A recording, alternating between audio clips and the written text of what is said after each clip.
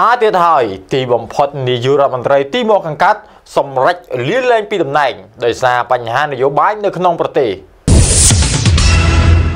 នាយករដ្ឋមន្ត្រីទីមកខាងកើតលោកថូម៉ាតានរក់បានសម្រេចលាលែងពីតំណែងស្របពេលដែលប្រទេសអាស៊ីអាគ្នេយ៍ដ៏ក្មេងខ្ចីមួយនេះកំពុងប្រឈមនឹងបញ្ហានយោបាយថ្មីផ្សេងផ្សេងទៀតក្រោយពីរដ្ឋាភិបាលចម្រុះដែលគ្រប់គ្រងលោកត្រូវដួលរលំនេះបើតាមការដកស្រង់ការចេញផ្សាយពីទីភ្នាក់ងារសារព័ត៌មាន Reuters នៅព្រឹកថ្ងៃអង្គារទី25ខែកុម្ភៈឆ្នាំ2020លោកនាយករដ្ឋមន្ត្រីរូបនេះបានថ្លែងនៅចំពោះមុខក្រុមអ្នកសារព័ត៌មានយ៉ាងដូចនេះថារូបលោកបានផ្ញើលិខិតសុំលាលែងចេញពីតំណែងនាយករដ្ឋមន្ត្រីទៅកាន់លោកប្រធានាធិបតីរួចរាល់ហើយទោះជាបែបនេះក្តីលោកនាយករដ្ឋមន្ត្រីទីមកខាងកាត់បានបញ្ជាក់ថាលោកបានត្រៀមខ្លួនបន្តទៅកាន់តំណែងនេះជាបណ្ដោះអាសន្នសិនរហូតតតែការសុំលាលែងរបស់លោកត្រូវបានទទួលយកដើម្បីកុំឲ្យបង្កភាពរាំងស្ទះដល់សកម្មភាពរដ្ឋាភិបាលនៅក្នុងប្រទេសគូជំរាបថាលោកថូម៉ាតាន់រុកបានកាន់ឡើងតំណែងជានាយករដ្ឋមន្ត្រីនៃប្រទេសទីមកខាងកើតកាលពីខែមិថុនាឆ្នាំ